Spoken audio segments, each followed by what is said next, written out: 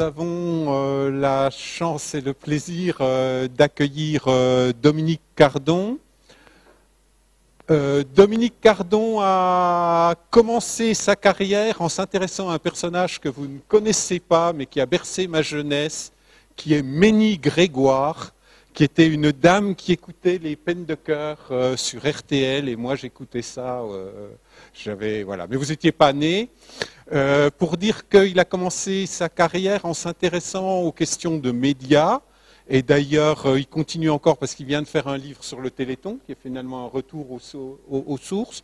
Mais progressivement, euh, il a travaillé, donc il a travaillé à Orange Lab, qui est un, labo de recherche du laboratoire Orange, et il a développé un suivi un peu général de l'ensemble des transformations du numérique, avec des réflexions sur qu'est-ce que le numérique fait à la démocratie, avec un livre sur la démocratie euh, Internet, des réflexions qu'on va voir aujourd'hui qui posent aussi, de mon point de vue, des questions de démocratie qui sont au fond et qui est son dernier livre qui vient de sortir, c'est sur la culture numérique.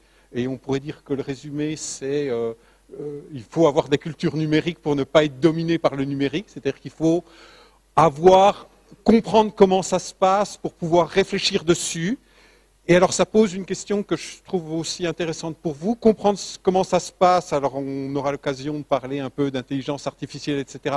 D'une certaine manière, euh, vous, vous êtes des insiders euh, absolus, mais euh, c'est aussi comprendre comment ça se passe, c'est ce qu'on va voir dans la conférence, à un niveau un peu à mi-distance, c'est-à-dire ne pas être dans le code, parce que d'une certaine manière, celui qui est dans le code, il peut ne pas comprendre les enjeux politiques, et puis ne pas être dans une extériorité absolue, de se dire ah bah c'est lointain, euh, ça nous fait ça, mais de se dire au fond quels en sont les principes généraux et comment ces principes généraux nous concernent comme citoyens. Ça sera un peu le, je pense, le cœur de sa conférence. Par ailleurs, il travaille actuellement sur deux autres euh, sujets. J'espère qu'on aura l'occasion un peu d'en parler. Le sujet du digital labor, ces, gens petites mains qui passent leur journée à, cliquer sur Internet pour euh, faire le travail des robots qui sont finalement pas si bons qu'on le pensait. Et puis euh, la question de l'intelligence artificielle, il a fait une histoire de l'intelligence artificielle qui d'ailleurs a des origines ici, euh, à Lessier. Je pense que vous connaissez euh, ça aussi. Donc actuellement, euh, il est responsable du Media Lab à Sciences Po, mais il est surtout connu, mondialement connu, pour avoir été au LATS, labo de l'école et de l'université. Et on ne lui a pas encore complètement pardonné de nous avoir lâchement abandonnés. Merci Gilles. Bon, merci Gilles. C'est un, plaisir de toujours de revenir à Marne-la-Vallée. C'est toujours un plaisir. Euh, bon, alors, je vais, je vais vous présenter quelque chose de très général sur les, algorithmes, qui est, en fait issu d'un petit ouvrage de, synthèse que j'avais rédigé il y a euh, trois ans maintenant. Euh, mais que je vais complètement réactualiser. Puis je vais, essayer, je vais aller en fait assez vite, essayer de mettre en forme des questions pour qu'on ait une discussion, parce que euh, moi je suis donc, comme vient de le, dire Gilles, euh, sociologue, donc j'étudie les transformations de nos sociétés, et notamment les transformations que le numérique apporte à nos sociétés. Et je voudrais vous poser le cadre de la d'une sorte de réflexion un peu générale sur les algorithmes, mais comme vous, vous êtes du métier, vous connaissez ces, techniques, et que euh, tout le cœur de l'argument, c'est précisément de fabriquer une discussion entre euh, ceux qui connaissent, maîtrisent et fabriquent les techniques et ceux qui essaient d'en dégager les, enjeux sociétaux et les, transformations que sur la culture, sur l'économie, sur nos propres vies, euh, ces technologies ont. on est au cœur du débat et donc il est toujours meilleur de, débattre dans ces questions. Mais je vais vous présenter quand même un petit, modèle qui, n'a vocation que d'être général hein, sur l'argument. Et euh, Gilles rappelait que je m'intéressais aux médias, et moi c'est effectivement un sujet euh, important. Et dans la sociologie des médias, il y a un terme américain qu'on ne sait pas traduire, mais on pourrait dire portier ou gardien, euh, qui est gatekeepers, pour désigner les journalistes, les journalistes et les éditeurs. Et la réflexion que je, vais faire, elle va partir d'une réflexion sur le fait que les journalistes, lors de la conférence de rédaction, et ça c'est une photo historique qui a toujours lieu aujourd'hui au journal Le Monde, vous savez que depuis Hubert Beuve-Méry, on fait la, conférence de rédaction le matin se fait debout. Les journalistes réunis en conférence de rédaction décident de la une du journal du soir. Ils décident de hiérarchiser, de trier, d'organiser, de filtrer ce qui est publié, ce qui n'est pas publié et quelle importance on va donner aux publications. Ce sont des humains qui produisent une liste et cette liste, elle a un effet absolument décisif sur la constitution de ce qu'on appelle l'agenda public, c'est-à-dire qu'elle va déterminer les grands thèmes de préoccupation et d'actualité. Et qu'une partie du débat actuel, euh, maintenant très engagé et qui part dans beaucoup de directions sur les algorithmes, c'est de dire ben, on a remplacé les gatekeepers humains par des techniques calculatoires appuyées sur des méthodes de, calcul, dans lesquelles un petit peu euh, regardé euh, tout à l'heure, pour filtrer l'information et ça a une importance qui est aujourd'hui euh, décisive. Alors, ce chiffre est faux parce qu'il est sous-estimé, hein, parce qu'on ne sait plus mesurer la taille du web.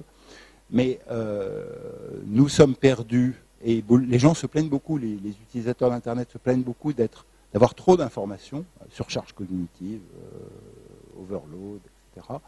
mais en réalité, ils naviguent sur une toute petite, un, confetti de l'information disponible en réalité. Et si, nous avons des accès à l'information disponible qui sont euh, euh, si réduits proportionnellement à la taille euh, des, données et des informations qui sont aujourd'hui publiées sur le web, c'est parce que la première page des, résultats des moteurs de recherche, c'est parce que le hashtag, c'est parce que le nombre de likes sur Facebook, c'est parce que toute une série de métriques ou de techniques calculatoires ont propulsé et orienté l'attention des utilisateurs vers tel ou tel contenu plutôt que tel autre contenu. Alors moi, le propos assez basique. Hein, vous allez voir, c'est assez simple en fait que je voudrais vous dire, mais on pourrait engager après des, discussions plus complexes. C'est de dire, euh, il y a ceux qui les fabriquent, puis il y a ceux qui soit les subissent, soit les étudient, vu du point de vue des sciences humaines et sociales, mais qui ne font pas l'effort d'essayer de comprendre quels sont les enjeux techniques, organisationnels, euh, mathématiques, euh, que rencontrent ceux qui les fabriquent? Et que d'une certaine manière, quand on a à discuter des algorithmes, on a une sorte d'articulation dans laquelle il faut venir avec les questions que pose la société, mais aussi savoir entrer dans les calculs pour comprendre cette chose qui est au cœur de tous les débats. Donc je, dis une chose assez triviale euh, devant vous aujourd'hui, c'est que euh, les entreprises qui fabriquent ces algorithmes, euh, les ingénieurs qui sont payés par les entreprises qui fabriquent ces algorithmes euh, ont des intérêts, des principes, des valeurs qu'ils essayent de mettre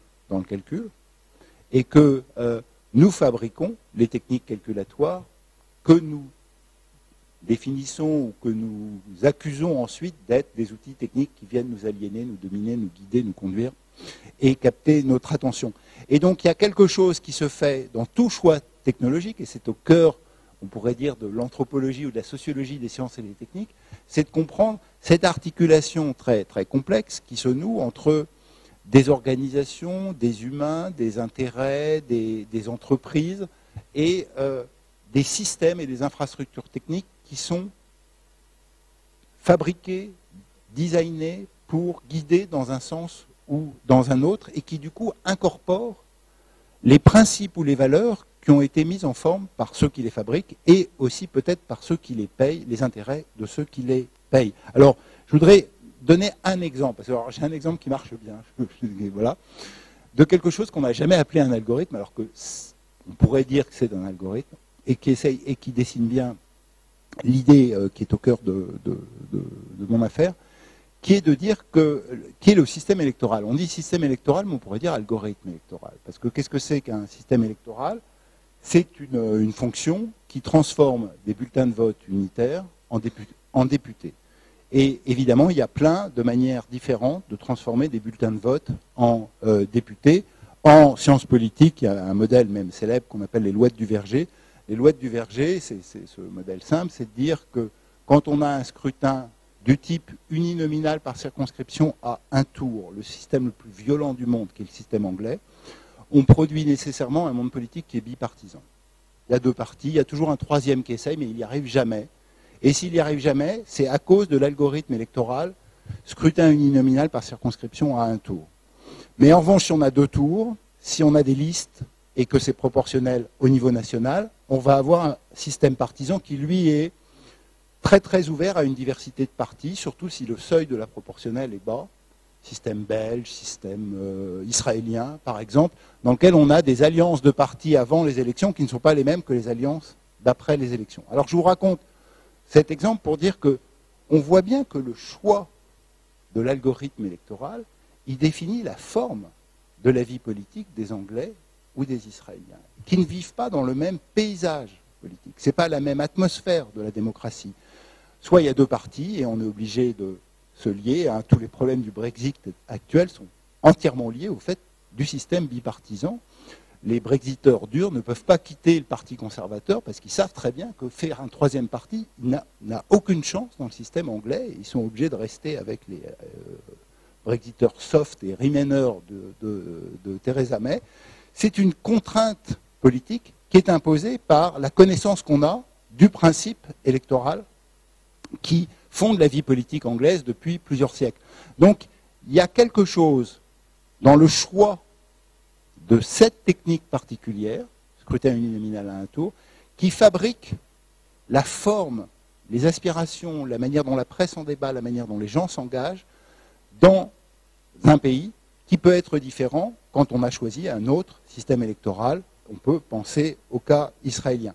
Et donc il y a bien une valeur ou un principe ou quelque chose qui est enfermé dans le choix de cette technique de calcul euh, qui euh, peut être étudié. Alors d'une certaine manière, c'est euh, ça que je voudrais faire, que j'essaie de faire, que j'ai essayé de faire avec les algorithmes qui classent l'information du web, comme présenté tout à l'heure à propos des journalistes. Alors, c'est d'essayer de dégager quatre familles de calculs pour classer l'information, qui obéissent à quatre types de principes qui sont très différents dans leur euh, représentation du public, dans leur représentation du classement désirable de l'information, dans leur représentation aussi, on pourrait presque dire, de, la démocratie, d'une certaine manière, et qui évidemment sont en compétition parce qu'ils présentent des principes ou des valeurs qui sont euh, différents. Alors, j'ai un principe, modèle qui ne vaut pas grand-chose et qui est surtout euh, très moche à, à, dessiner, là, comme vous le voyez qui est de dire ces quatre familles, on peut faire tourner le, calculateur ou l'algorithme autour des données. Donc les données, c'est ce, truc-là. Je vous présente les quatre principes, puis je vais un tout petit peu détailler, mais j'irai vite. Si on met le, calculateur à côté, euh, je vais considérer qu'on produit de la popularité. Si on le met au-dessus, je vais considérer qu'on produit de l'autorité. Je vais revenir sur toutes ces définitions. Et ça, c'est Google, c'est le, on pourrait dire l'esprit de l'Internet. On peut mettre le calculateur dans les données, et là c'est les réseaux sociaux, et là on produit de la réputation. Et si on met le calculateur sous les données, et ça c'est ce qui nous arrive, c'est la chose qui arrive fortement aujourd'hui, on produit de la prédiction personnelle, la, personnalisation prédictive, et ça c'est les techniques actuelles de machine learning qui se mettent en place. Alors je vais les détailler très rapidement, et sur certaines familles je m'attarderai plus, pour que essayer de vous montrer comment finalement dans la manière de classer l'information numérique avec des techniques calculatoires qui peuvent être extrêmement sophistiquées ou incroyablement simples, euh, on produit des hiérarchies qui vont ensuite définir très différemment qu'est-ce qu'est la qualité de l'information proposée au public qui va suivre les recommandations qui lui sont faites. La première famille est extrêmement simple à définir. On met le calculateur à côté du web et on produit de la popularité. Ça n'a rien de nouveau c'est très ancien, ça ne dépend pas du numérique, ça vient de la radio, de la presse et de la télévision. On appelle ça des mesures d'audience. On compte le nombre de clics. En fait, sur Internet, vous savez qu'on compte le nombre de visiteurs uniques. On classe les objets cliqués ou visités par les internautes et on produit une hiérarchie qu'on soumet généralement, la plupart du temps, au marché publicitaire pour fixer les prix des bannières publicitaires. Donc on a une définition du public qui est simplement euh, lié au clic et qui a une sorte de vertu, on pourrait dire, démocratique. Hein. Je vais très vite sur cette famille, mais on peut insister là-dessus.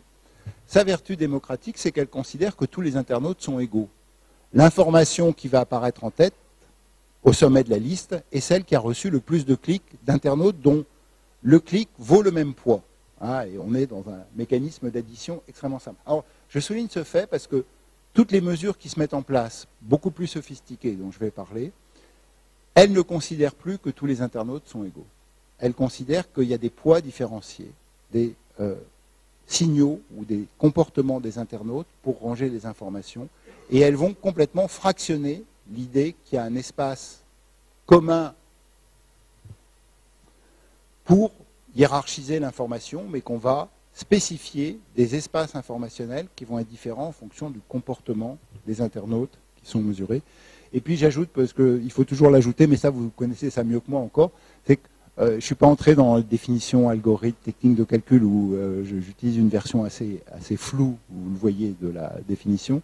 Mais, au fond, enfin je, le dis en sociologue, ce qui est au cœur de, des techniques calculatoires euh, contemporaines, c'est pour les définir, c'est qu'elles sont trucables.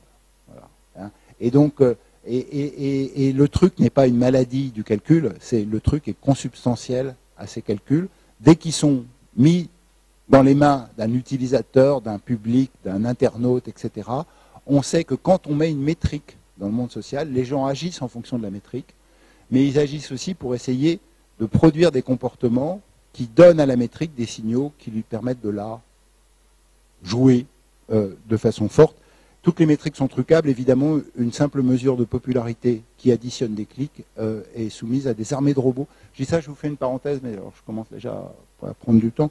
Mais euh, moi, quand j'ai commencé à faire des, des, travaux sur le web, enfin, donc il y a très longtemps, la naissance du, web, les, gens du numérique disaient toujours aux publicitaires, vous allez voir, le web c'est formidable par rapport à la publicité radio et télé, parce que nous, on a les vraies mesures. Nous, c'est exact. Hein. Si on regarde aujourd'hui tous ces, ces, chiffrages de mesures d'audience, etc., c'est que les données sont, sont, absolument pourries, elles sont sales, elles sont pleines de robots, il y a toute une série de systèmes de trucage extrêmement forts. Donc, L'idée, et je dis ça aussi par rapport à tout le débat sur les big data, elles sont précises, vous allez voir ce que vous allez voir, ça va bien calculer, ça va faire des scores absolument parfaits, il n'y aura pas de, marge d'erreur, de faux positifs, etc. Euh, la réalité des données numériques, c'est qu'elles sont euh, vraiment crades et que les gens ne cessent de jouer avec elles, notamment quand il s'agit des données liées au marché publicitaire. Il y a une deuxième famille, beaucoup plus sophistiquée, beaucoup plus originale par rapport à la mesure d'audience traditionnelle, qui est arrivée avec le web et qui, va consister à mettre le calculateur au-dessus des données, hein, dans la métaphore que j'emploie, pour mesurer quelque chose qui est l'autorité ou la notoriété. Et euh, cette mesure, elle va mettre en œuvre un principe d'autorité qui, d'une certaine manière, euh, appartient à toute la, enfin, est, intimement lié à toute la tradition de la culture numérique et de la méritocratie. Hein. Celui qui doit être bien classé, l'information qui va être la première est celle qui a reçu l'assentiment et la reconnaissance de la communauté, ceux qui vont en faire un algorithme de façon euh, forte et décisive et qui vont d'une certaine manière transformer toute l'économie de l'information sur le web, c'est euh, Sergey Brin et Larry Page en fondant euh, Google en 1999, parce qu'ils vont substituer dans la recherche d'informations à une mauvaise méthode, qui était une méthode lexicale, qui considérait qu'une bonne information qui arrivait en tête de la liste, une bonne page du web, était une page du web qui contenait le plus de fois possible le mot-clé recherché par l'utilisateur, et donc euh, euh, keyword density. Hein. Si vous avez, si l'utilisateur tape vélo et que vous avez une page qui a 15 vélos, elle sera mieux classée qu'une page qui a 13 vélos, qu'une page qui a 12 vélos, etc. C'était idiot, ça marchait mal, c'était facilement trucable. Larry Page et Sergey Brin vont avoir une intuition très forte, très liée à l'économie, à l'économie ou à l'esprit du web des pionniers, c'est que ce sont des pages web qui se citent les unes d'entre elles à travers des liens hypertextes. Le web est un tissu de liens, de pages qui sont liées les unes aux autres. Et ils vont reprendre une idée ancienne, qui appartenait à, euh, qui avait été mise en forme par Eugène Garfield dans les années 60, qu'il avait mis en place pour la science, qui est de considérer qu'une revue scientifique, alors nous les chercheurs, on connaît, ça par cœur, ça, nous domine, une revue scientifique est de meilleure qualité, est de meilleure qualité qu'une autre revue si les articles qui la composent ont été cités par un plus grand nombre d'autres revues scientifiques. Et donc, l'argument de Garfield, c'est de dire, dans la note en bas de page, dans la citation, il y a un signal qui enferme une valeur qui est la reconnaissance. Tel chercheur a dû, pour produire sa connaissance, citer tel autre chercheur. Pour en dire du bien ou pour en dire du mal est complètement indifférent. Le fait qu'il a dû citer est un signal d'autorité et de centralité de la recherche qui a été mentionné. L'argument de Garfield, arrêtez de lire les articles pour mesurer leur qualité, regardez simplement le tissu des citations qui s'échangent entre eux. Les articles qui ont été bien cités ont plus d'autorité, c'est une approximation de la qualité, une approximation très discutable, je n'entre pas dans ce débat, pour produire une hiérarchie et un classement. Alors je vais très vite, mais d'une certaine manière, ce que euh, Sergey Brin et Larry Page vont faire avec le PageRank, c'est tout simplement d'appliquer au web cette idée de la citation scientifique et de dire que finalement on reprend l'ensemble des liens hypertextes. Le lien hypertexte, c'est l'essence, l'esprit, le cœur, on pourrait dire le ressort absolu euh, de ce qu'est le web, dont on fête les 30 ans euh, aujourd'hui. Les pages se citent entre elles. Prenons le tissu des citations et mesurons la qualité euh, des pages avec ce système. Le système est complètement méritocratique. Si un site A est cité par euh, Le Monde, Le Figaro ou Wikipédia, le lien qu'il reçoit de cette citation vaut énormément de crédit, d'autorité. Si vous êtes cité par le blog de ma petite cousine, ça ne vaut quasiment rien. Donc on a bien des, des valeurs d'intensité du citeur qui sont extrêmement différentes et qui dépendent de la position que le citeur a lui-même à l'intérieur du réseau de citation. Modèle récursif, algorithme du PageRank qui se met en place pour se développer. Et donc, euh, on a construit autour du lien hypertexte une sorte de, de, métrique qui va fabriquer et séparer les bons et les mauvais euh, sites et qui va aussi essayer de distinguer, et c'est toute une histoire que je ne vous fais pas, euh, de l'algorithme de, Google depuis sa fondation. Là, je vous ai raconté le principe initial du brevet de 99, euh, qui n'a cessé d'évoluer, mais qui a gardé la même idée, c'est-à-dire que dans le classement des, des sites d'information, pour être bien classé dans le classement naturel de Google, il faut avoir reçu des liens hypertextes de sites qui eux-mêmes ont été beaucoup cités par d'autres sites. Ça n'a rien à voir avec le premier principe que j'ai évoqué, celui de la popularité. Je dis ça parce que, pas vous, j'en suis sûr, mais beaucoup de gens pensent qu'on est bien classé sur Google, classement naturel, hein, je ne vous parle pas de la publicité, parce qu'on a beaucoup cliqué sur le site. Non. On reçoit beaucoup de clics parce qu'on apparaît sur la première page à cause des liens hypertextes qu'on a reçus des autres et c'est toujours, même si maintenant le raffinement du modèle est si sophistiqué que les, choses ont beaucoup bougé, c'est toujours ce principe qui reste quand même au cœur de cette appréciation de la qualité. Euh, ça a beaucoup de conséquences que je ne vais pas vous développer, sauf une quand même, sur euh, euh, le, le, sort de, de modèle économique qui est derrière cette idée qu'a mis en place Google, qui est assez fascinant et qu'on peut résumer en une seule formule. La visibilité, être premier au classement, soit ça se mérite, soit ça s'achète. Hein. ça se mérite, ça veut dire que vous avez reçu des liens naturels. je n'entre pas dans ce débat, mais beaucoup de liens ne sont pas naturels et Google va passer son temps à essayer de chasser les liens qui ne sont pas naturels, c'est-à-dire qui sont stratégiques, des gens qui se mettent d'accord entre eux pour que celui qui les observe au-dessus euh, mesure leur force. Et ceux qui le font et que Google prend la main dans le sac, il essaye de les déclasser. Donc c'est une histoire qui, dure depuis, depuis 15 ans avec un marché qui s'appelle le marché du référencement. Soit vous les méritez et vous êtes bien classé, soit vous ne les méritez pas et dans ces cas-là, vous payez Google dans le modèle des AdWords qui sont mis en place à côté du système. Bon, ce système qui est là en train d'être beaucoup transformé par l'intelligence artificielle et les nouvelles techniques mise en place par Google, a été au cœur de la mise en place de, la domination, on pourrait dire, de Google dans l'espace euh, numérique. Il y a une troisième famille qui mériterait beaucoup de discussion, mais je vais aller à toute vitesse parce que je voudrais introduire la discussion sur la quatrième et surtout qu'on ait le temps de discuter, qui est de dire, à partir des années 2005, oui, classer par popularité ou par autorité, c'est bien, mais en fait, ce que demandent les utilisateurs, c'est de fabriquer quelque chose d'autre, qui soit un écosystème informationnel, dans lequel ils choisissent des gens qui publient des choses qui vont intéresser les gens. Et euh, les réseaux sociaux vont fabriquer euh, un univers numérique qui va ensuite déployer toute une série de métriques, notamment autour de l'idée de la viralité, qui va mettre en place cette idée qu'on n'a plus un espace unique pour ranger les informations. Chacun fabrique un écosystème en choisissant des amis, des abonnements, des contacts, des followers, que sais-je encore, et il définit un périmètre informationnel sur lequel un certain nombre de calculs vont pouvoir être faits pour ranger les informations à l'intérieur de la niche écologique qui a été constituée par les amis, qui ont été produits par les utilisateurs. Ça va produire un monde de la réputation, et la réputation va devenir centrale, et ça va fabriquer un, univers qui est très singulier, qui est celui des réseaux sociaux, euh, que je me permets de ne pas vous détailler, euh, mais je vous renvoie euh, à l'ouvrage éventuellement si ça vous intéresse.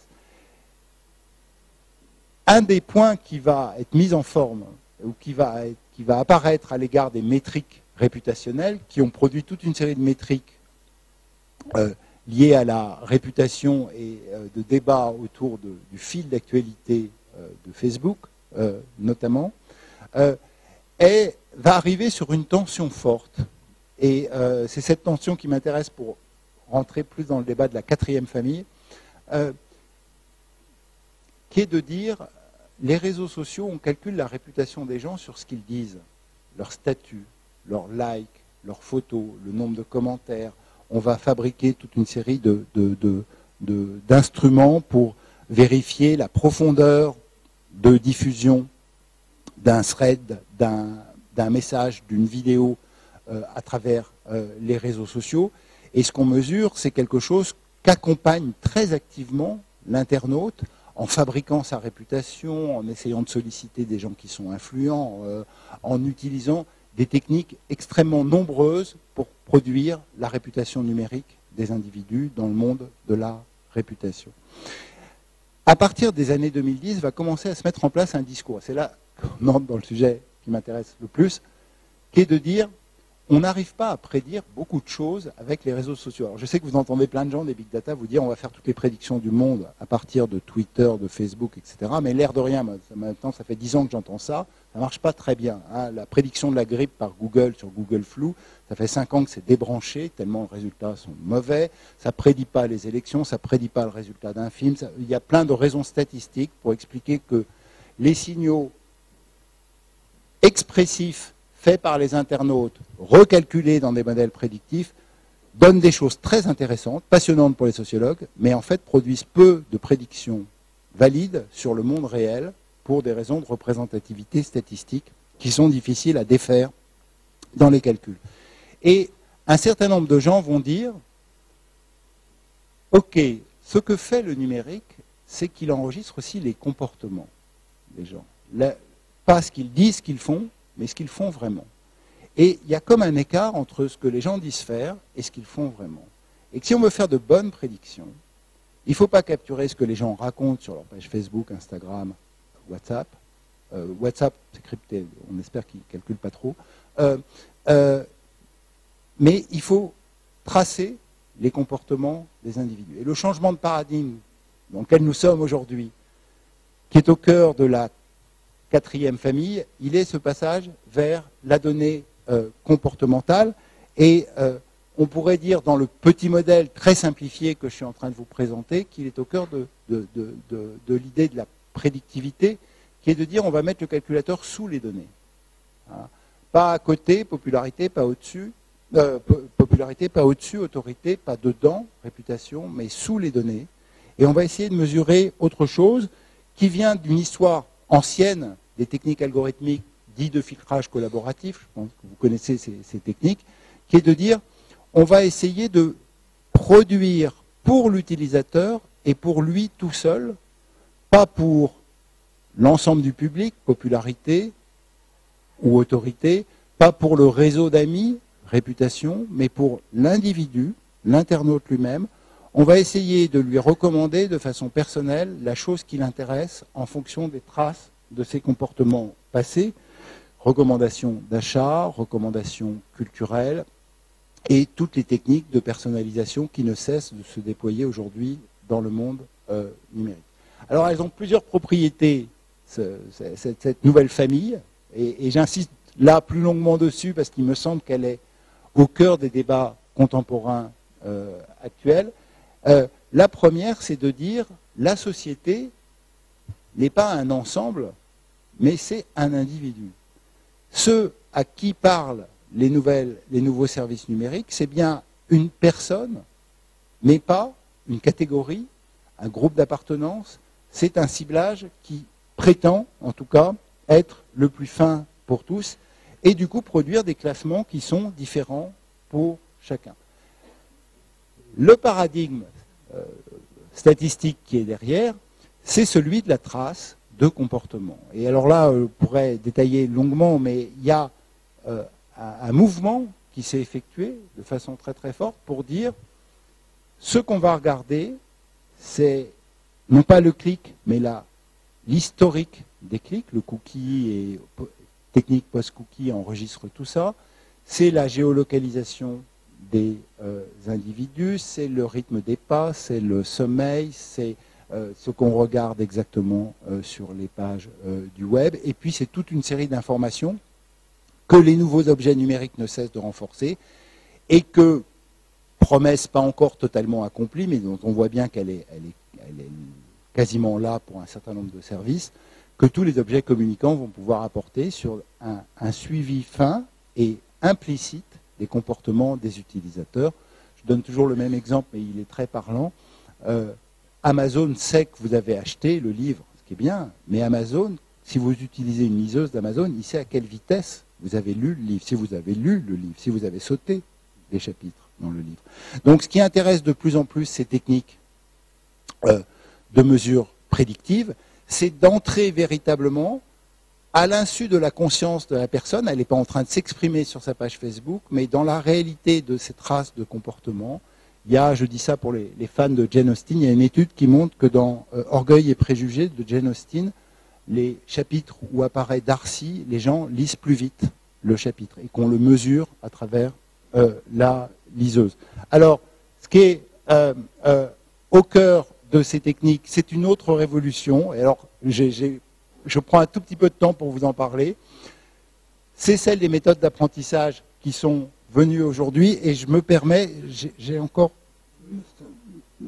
euh, d'entrer sur la particularité du débat parce que c'est quand même très frappant aujourd'hui. Alors comme vous, vous êtes au cœur de, ces questions, ça me semble, important de, le dire.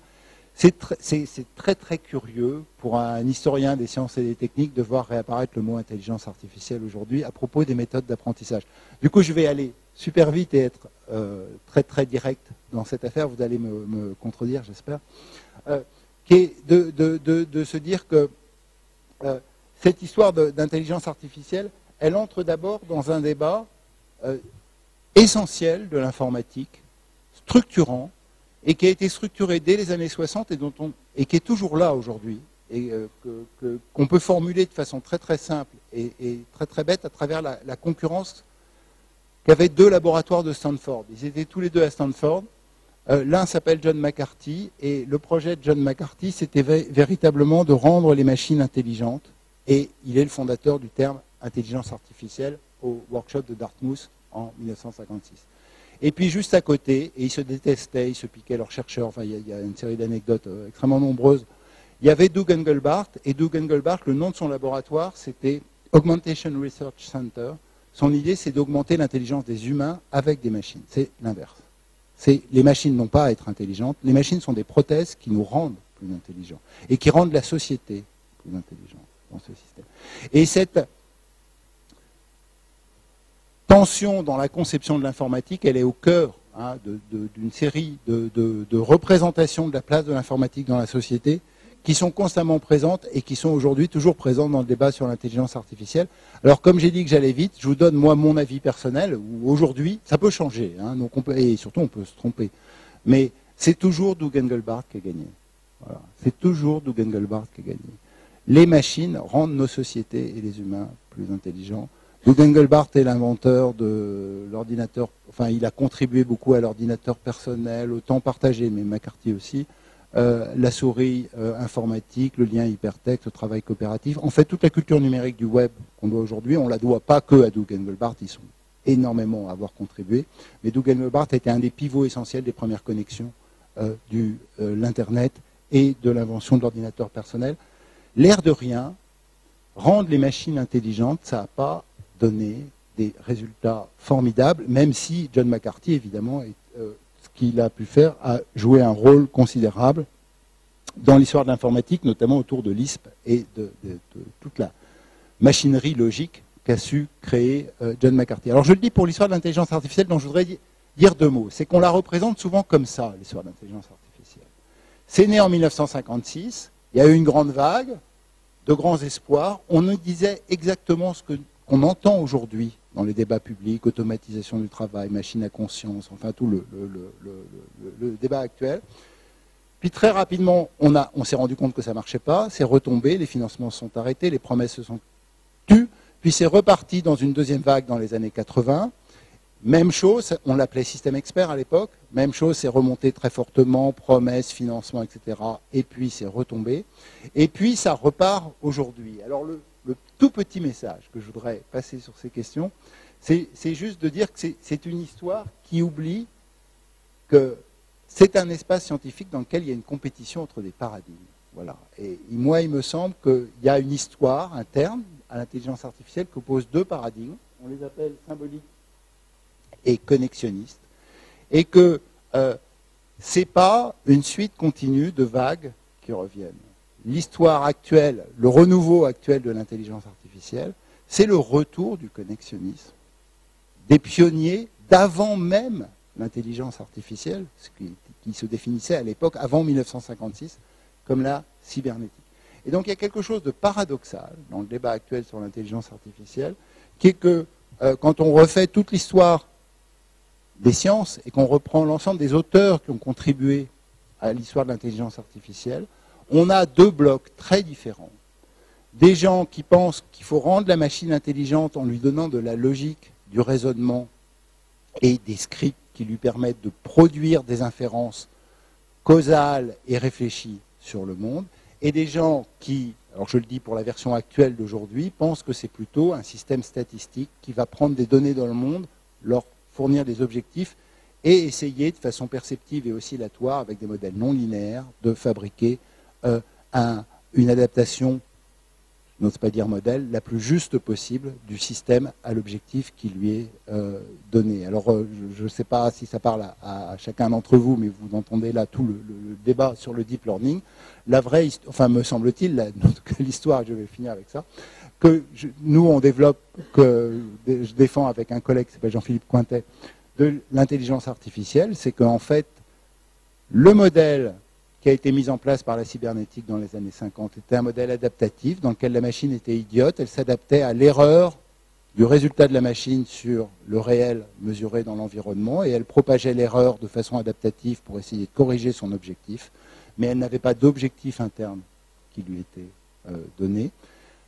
À partir contre ce modèle, dit des réseaux, dit des réseaux de neurones et fabriquant une machine célèbre en 1959 avec Frank Rosenblatt qui s'appelle le perceptron, s'est mis en place l'idée de rendre la machine intelligente avec des programmes de la logique et des symboles. Et c'est ce qu'on a appelé l'intelligence artificielle, qui a développé ces deux vagues que j'ai évoquées euh, tout à l'heure, et qui ont échoué. Alors vous êtes trop jeune pour savoir ça, mais euh, dans les années 90, euh, l'intelligence artificielle, c'était un truc enterré. C'était mort. Hein, c'était un projet qui avait échoué. Euh, et, beaucoup de critiques euh, assez pertinentes avaient été faites contre l'intelligence artificielle symbolique pour expliquer les raisons euh, d'un échec d'une programmation intelligente des machines. Ce qui va revenir à partir des années, en fait, le, début de la Renaissance s'est fait pas loin, euh, enfin pour la France, euh, effectivement, avec, Yann Lequin et Lessier, va, commencer dans les années 90. Ces algorithmes se mettent en place entre 80 et, et, 2000. Les données arrivent en 2005-2008. les calculs percent dans chaque discipline de la voix, du signal, du son, de l'image, de la traduction, avec des techniques de réseau de neurones. Et on a quelque chose qui était une, qui tout d'un coup produit un effet important dans les résultats qui sont obtenus, qui est une euh, mise en application avec des techniques de calcul et des données qui évidemment n'étaient pas celles qui étaient disponibles, mais qui mettent en œuvre un modèle qui avait été formulé en 1943 par McCulloch et Pitts sur le réseau de neurones. Donc on a une boucle très singulière de l'histoire du calcul qui est aujourd'hui euh, au cœur de toutes les techniques prédictives qu'on appelle intelligence artificielle aujourd'hui. J'ai été absolument caricatural et rapide. Je voulais dire trois petites choses de sociologue pour faire quand même le sociologue en, concluant. Qu'est-ce que ça veut dire, cette arrivée forte de la quatrième famille et de la recommandation et, de ces techniques algorithmiques? Il y a plein de sujets de débat, donc je les lance comme ça pour, euh, euh, pour, pour, la discussion. La, la première, c'est que si on calcule la prédiction d'un comportement à venir à partir de données passées, il y a de grandes chances qu'on nous reconduise dans des choses qu'on a déjà faites ou pas loin de choses qu'on a déjà faites. vous entendez bien un débat sur la, bulle, c'est-à-dire d'une certaine manière, ces machines dites intelligentes font surtout de la statistique sur le passé pour essayer d'imaginer euh, l'avenir. Elles peuvent être imaginatives, ça je, je, le pense fortement. Elles ne font pas toutes des techniques à partir des données du passé, mais dans les cas que j'étudie sur le web, c'est quand même principalement comme ça que sont faits les modèles statistiques et que la plupart des débats sur les algorithmes sont construits. Hein, euh, les algorithmes de prédiction criminelle, par exemple, si on les accuse d'avoir des biais racistes euh, dans les travaux euh, américains, c'est tout simplement parce que les décisions passées des juges américains enfermaient des préjugés portés par des humains, mais qui étaient racistes, et que ces décisions enregistrées dans les modèles continue à fabriquer des euh, euh, recommandations qui sont jugées indésirables. La deuxième chose que je voulais dire, c'est euh, ce qui est assez paradoxal dans les techniques massives de machine learning à partir de données d'apprentissage multiples et variées, c'est que nous éduquons les algorithmes. Les voitures automatique et intelligente doit faire des milliers de kilomètres pour apprendre ce que c'est qu'une route, un virage, un tournant, une grand-mère, etc., etc. Nous passons notre temps, nous ou des petites mains, pour nous aider à les étiqueter, à donner des, données pour fabriquer les modèles au système. C'est exactement ce que disait Doug Engelbart sur le couplage entre la machine et la société. Ce n'est pas la machine qui est intelligente, c'est nous rendons intelligente un couplage nouveau entre une technique calculatoire et euh, une méthode de calcul. Et puis le dernier point, et vraiment je finis, euh, sur lequel je voudrais insister, parce que évidemment pour un sociologue il est très important, c'est que les statistiques, et là je parle de la statistique sociale, la statistique traditionnelle, enfin la statistique des économistes, des sociologues, des démographes, des criminologues, tous ceux qui ont essayé de mesurer euh, nos sociétés et un certain nombre de comportements sociaux et d'utiliser les régressions et les, modèles mis en place pour essayer de la comprendre et de prédire les effets de telle politique publique ou de telle décision sur les comportements euh, des individus de nos sociétés. C'est des techniques qui calculent par le haut. Alors quand j'entends par le haut, ça veut dire qu'on va poser sur un certain nombre d'individus statistiques des catégories. Alors pour les sociologues, l'âge, le sexe, la profession, le niveau de revenu. Donc ce n'est pas l'individu qui nous intéresse, c'est le descripteur symbolique et statistique qui permet d'unifier ensemble une catégorie d'individus qu'on fait appartenir à la même classe d'âge, de sexe, de territoire, de revenus, etc. Ça a été au cœur des représentations de nos sociétés, c'est au cœur de la fabrication de nos sociétés, on pourrait dire que c'est au cœur aussi des mécanismes de solidarité et de redistribution dans nos sociétés, savoir mesurer des inégalités, ben, il faut des catégories pour voir quelles sont les catégories privilégiées par rapport à d'autres catégories. C'est au, au, cœur de beaucoup de de nos représentations et de la fabrication statistique de, euh, l'État, de la profession, des, des, filières professionnelles et de beaucoup de choses dans nos sociétés. Les techniques prédictives personnalisées que j'ai un peu décrites ici, elles viennent décrire la société autrement. et, elles viennent avec une sorte de prétention. Je pense qu'en réalité, elles n'y arrivent pas. Hein.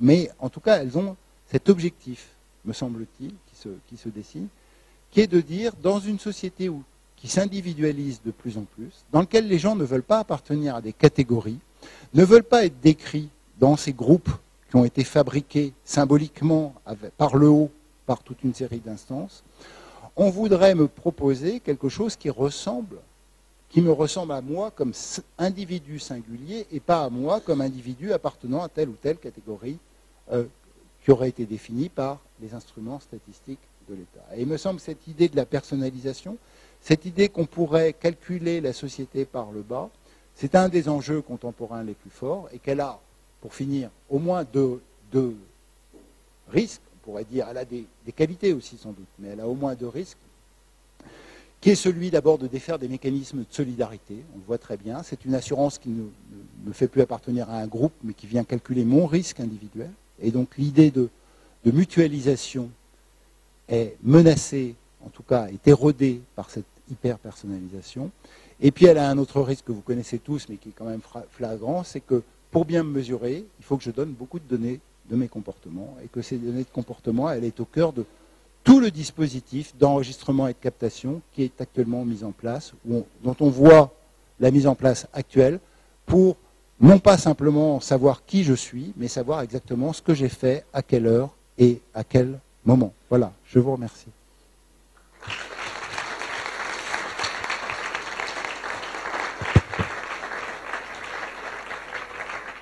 Euh, si vous avez des questions, on est, on est là avec les micros.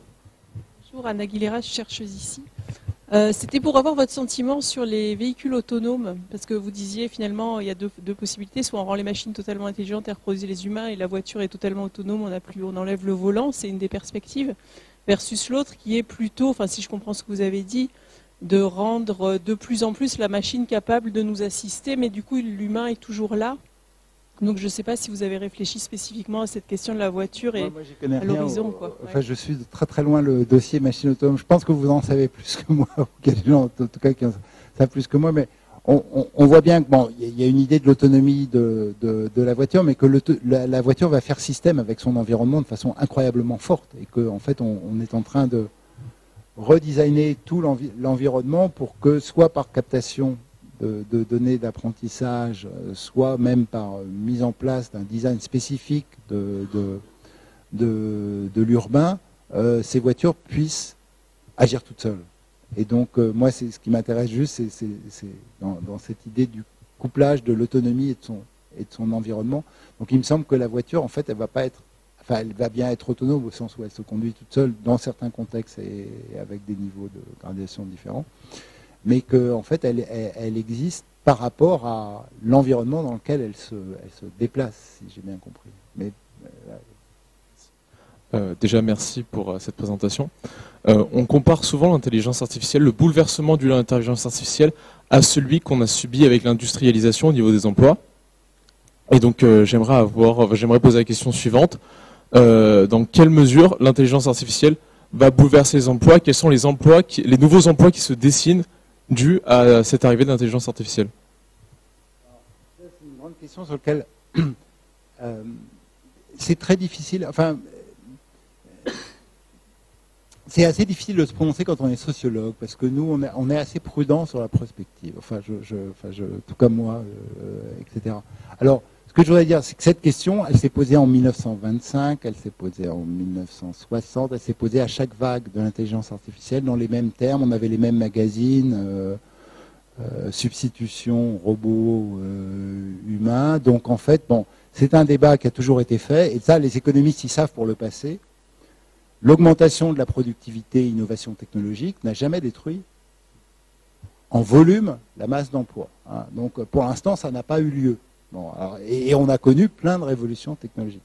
Alors évidemment, on nous dit actuellement, avec des chiffres qui parfois, je dis ça pour les fameux, euh, je sais plus, c'est 40% là de euh, Osborne, et, hein, fait parfois un peu au doigt mouillé. Euh, dans 10 ans, vous allez voir, c'est 40% de l'emploi qui est substitué par des, robots. Bon, ça ressemble exactement à ce qui était dit dans les années 60 et années 30. Donc moi, je suis un peu sceptique. Mais ce qu'on observe aujourd'hui dans les travaux plus fins et plus subtils, et notamment ceux en France, on a un très bon travail du Conseil d'orientation de l'emploi en deux volumes qui a été fait, qui lui chiffre à 9% la substitution. Euh, et on voit bien qu'il y a des métiers, effectivement. Vous savez, le problème de, l'automatisation, c'est qu'il y a toujours un bout de la compétence ou du métier. On peut automatiser 95%, mais il reste ces 5%, et ils sont décisifs, surtout quand on est en relation clientèle, etc. Et alors là, euh, ça pose problème.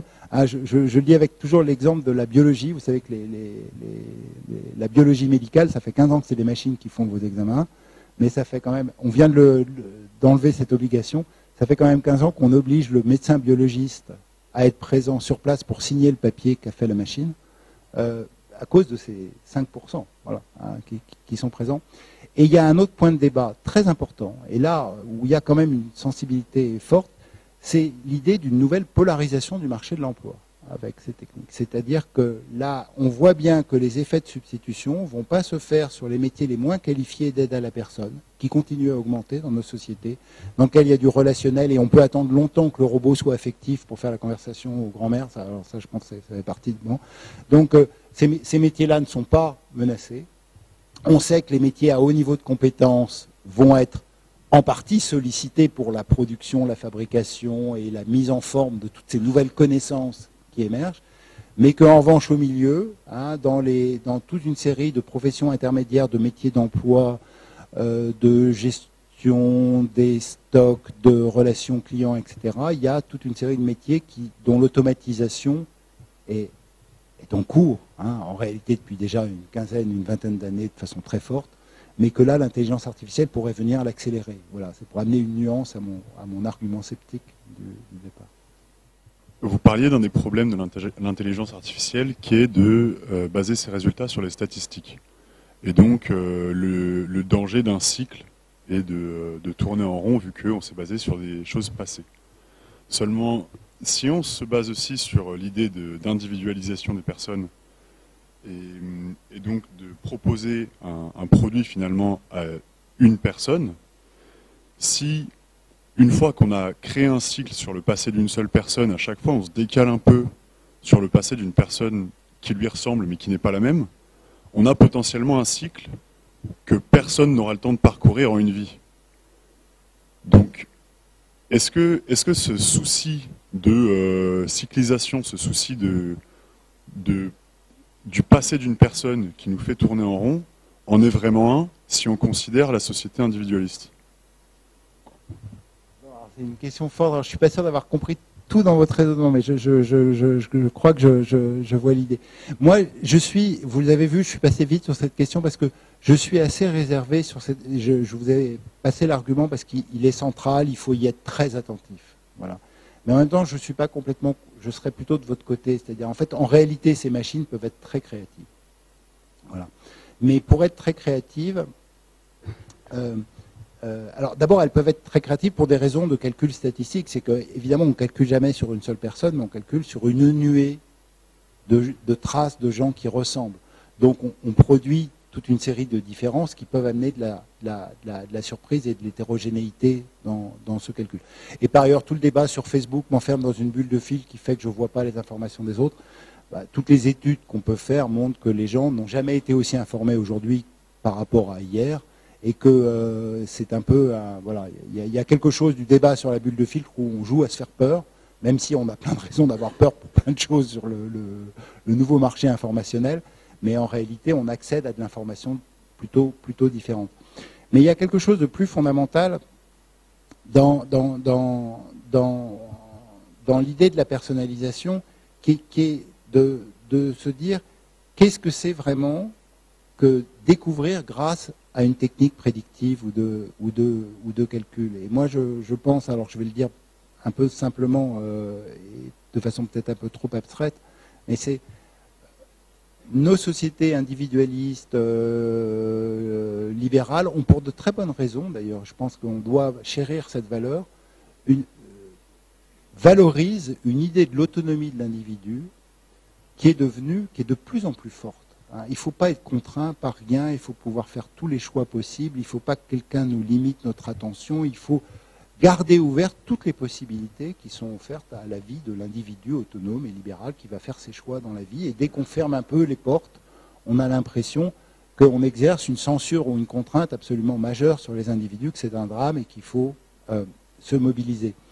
Alors, une version, une anthropologie plus réaliste serait de dire, en réalité, on pense qu'on est autonome, mais on fait toute une série de choix qui sont guidés par plein de choses qui sont liées à notre position dans la société, notre âge, notre sexe, etc. Euh, je veux bien qu'on m'explique qu'il faut que mon fil Facebook soit ouvert au Front National parce que je dois être ouvert à la diversité de l'information, mais si j'ai pas envie, bah euh, voilà, j'ai pas envie. Donc il y a, des moments où il me semble qu'il serait plus judicieux de considérer que l'individu, c'est pas qu'il soit pas autonome, mais c'est qu'il a un ensemble de priorités, d'attaches qui font que il préfère voir des choses dans le périmètre de choses qui sont effectivement complètement personnalisées ou liées à sa propre identité, et que c'est dans ces conditions-là que les algorithmes produisent les meilleurs résultats. Voilà, ça c'est un argument un peu paradoxal, mais peut-être pour vous donner un exemple un peu bête et simple, mais c'est de bons algorithmes qui marchent bien pour ceux qui les utilisent. Sur la musique, on peut dire, bah, je veux qu'il n'y ait pas d'algorithme pour être ouvert à la diversité des, des styles musicaux multiples et variés qui ont été inventés depuis l'histoire de l'humanité. Donc c'est très beau et très noble. Mais la réalité, c'est qu'on a des goûts. Voilà. La réalité, c'est qu'on a des goûts. Et qu'un algorithme qui connaît bien ce que j'ai écouté dans le passé et qui le compare avec des gens qui ont déjà écouté ce que j'ai écouté dans le passé, la plupart du temps, je dis ça pour Deezer et Spotify, les travaux qu'on a là-dessus, il fait vraiment découvrir des choses que je ne connaissais pas, donc il ne reconduit pas le passé, mais il ne va pas les prendre n'importe où dans la carte de façon aléatoire, il va les prendre dans la périphérie d'une zone personnelle que j'ai moi-même créée par la trace de mes navigations et de mes écoutes. Et que dans ces cas-là, il me semble qu'on devrait accepter, en tout cas moi c'est la position un peu modérée que j'essaie d'avoir, de dire que l'algorithme est effectivement créatif parce qu'il a su découvrir quelque chose qui m'intéresse dans la périphérie d'une histoire qui me fait dépendre de mes écoutes passées. Euh, merci beaucoup pour votre présentation. Euh, je suis Pierre Bertrand, je suis responsable de formation à l'école. J'ai euh, une question que j'aimerais vous soumettre, et si je dois la mettre de manière un peu brutale, quand on regarde maintenant les métiers que font les gens qui produisent des algorithmes, en fait, beaucoup d'ingénieurs ou d'élèves de l'école vont produire des algorithmes à la, fin de leurs études. Mon impression est que ça se rapproche beaucoup d'un métier du technicien dans les années 70 dans une usine. C'est-à-dire qu'on on bricole un peu à partir de quelque chose qui existe déjà pour euh, accomplir un objectif qui est dicté par son employeur. Euh, est-ce que je me trompe? Euh, Est-ce qu'on ne sait pas qu'est-ce qui va arriver? Mais ça, c'est un souci dans le sens où on ne sait pas qui va à la fin détenir le pouvoir sur ces algorithmes et que vont devenir ces personnes dans, 40 ans. Une bonne question. Vous en savez sans doute plus que moi, mais c'est vrai qu'il y a un déplacement très très frappant. je ne vous ai pas fait le topo, mais quand les réseaux de neurones et les techniques euh, d'apprentissage à statistiques très, très fortes sont arrivées, ils ont subi de la part, du côté de l'université, ils ont subi de la part de l'université une sorte de mépris euh, énorme. Hein. Ils sont même les, grands fondateurs aujourd'hui, Yann Lequin, Huffington, euh, Bengio et les autres, ont été méprisés dans les années 90 comme de vulgaires hackers. Voilà. C'est de la bidouille. Ils paramètrent, ils font des hyperparamètres pour voir leur couche de neurones, pour faire du pooling, pour organiser l'architecture de neurones.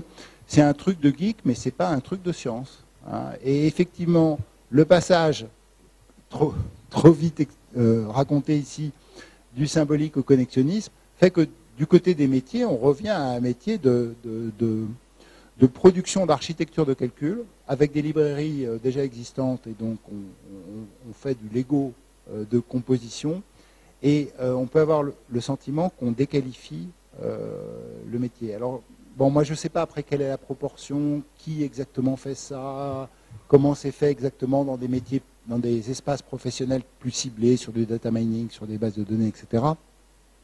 Mais sans doute qu'on perd une partie de, et ça a toujours été le cas, de la subtilité conceptuelle et de l'élégance logique des euh, mathématiques et de la programmation, euh, de, la script dans, cette affaire. Bonjour, euh, François Ploquin. Vous avez dit une métrique rendue publique est manipulée par les utilisateurs. Lorsque de plus en plus de personnes vont se rendre compte que leurs traces sont épiées et en lien avec ce que vous disiez sur l'autonomie de l'individu, ne va-t-on pas arriver à une situation où de plus en plus de personnes refuseront de laisser des traces, avec toute, une panoplie de systèmes qui se développent, Tor, etc. Euh, et donc, euh, quelque part, euh, amoindrir la performance de cette quatrième famille de, calcul? Oui, alors, bon, alors vous, êtes, entièrement raison, et je pense que vous, vous je dis tout à l'heure pas que je n'aimais pas faire de la prospective, mais ça, je, parierais avec vous que c'est ce qui va arriver. Donc, assez, assez, certainement. Parce que ça arrive toujours. Hein. Une anthropologue qui s'appelle euh, Strohern, on a, du coup on appelle ça la loi de Strohern, c'est que quand on met un calcul dans le monde social, les gens transforment leur pratique avec le, calculateur qui arrive. Alors ça peut être le transformer pour se cacher, hein, et on voit dans le monde numérique, il y a, même euh, un, mouvement militant euh, sur la vie privée qu'on appelle le mouvement de l'obfuscation. Je dis ça parce qu'on vient de traduire le livre d'Hélène Nissenbaum euh, en, français, un, grand livre sur l'obfuscation. L'obfuscation, ça veut dire produire des... C'est se cacher en restant là, mais en produisant des fausses traces. Vous mettez un add-on Firefox qui clique sur toutes les pubs, par exemple. Donc du coup, comme ça, la personnalisation disparaît. Ou bien de transformer ces comportements soit pour s'auto-ajuster au calcul. Alors ça, maintenant euh, les, sociologues des usages, c'est leur centre d'intérêt, c'est de voir comment les pratiques se conforment au calcul. J'ai parlé tout à l'heure des algorithmes musicaux pour essayer d'être plus anecdotique. Mais vous aimez euh, le baroque, euh, la musique baroque, et puis de la folk sophistiquée américaine, et puis vous faites une soirée avec les copains, vous écoutez Claude François. Bon, bah, les gens, maintenant, on a ça dans les enquêtes, les gens débranchent leur Spotify pour qu'ils n'enregistrent pas le moment Claude François dans le calcul de l'algorithme qui va leur proposer les trucs après. Donc on a exactement une connaissance du calcul qui fait qu'on modifie sa pratique en fonction du calcul. Bon, il y a, le nombre d'histoires maintenant de ce type-là ne cesse de se passer. Euh, et je, voudrais finir en disant euh, que j'ai senti ça dans votre question. On pourrait espérer que ça suscite aussi des comportements beaucoup plus vigilants à l'égard de la capture des données personnelles des individus qui, ayant une meilleure connaissance des usages qui en sont faits, euh, euh, viendraient transformer leurs pratiques. On ne l'observe pas complètement aujourd'hui. Hein, mais bon. Du coup, question impertinente. Sachant tout ce que Google récupère, pourquoi avez-vous une adresse en Gmail? Ben voilà, ben vous êtes au cœur du, vous êtes au cœur du débat. Vous êtes au cœur du débat. Et vous êtes au cœur d'un arbitrage très compliqué parce qu'on voit bien ce qui est au cœur de cette affaire. Hein, c'est que euh, euh, ça fonctionne sur des mécanismes d'individuation de nos sociétés. Ça, j'y crois beaucoup. Et donc, on, cherche, on a des attentes d'efficacité qu'on ne cesse d'adresser au calculateur. Hein. pour le GPS, c'est typique. Hein. on veut le, plus rapide. Et euh, Google produisant actuellement les services les plus efficaces, on reste attaché à une entreprise dont on sait par ailleurs qu'elle fait un usage euh, détestable des données. Je voulais revenir sur la, question de l'emploi et de l'emploi de tous ces jeunes gens qui vont, qui vont aller faire de l'intelligence artificielle. Alors tu ne fais pas de prospective, mais les gens qui étaient dans la mauvaise école, etc., euh, de pensée qui est morte de les systèmes experts, etc., ils sont, ils sont au chômage ou ils sont requalifiés dans d'autres choses? Et quel est le rythme d'espérance de, vie au travail de quelqu'un qui fait du réseau de neurones aujourd'hui?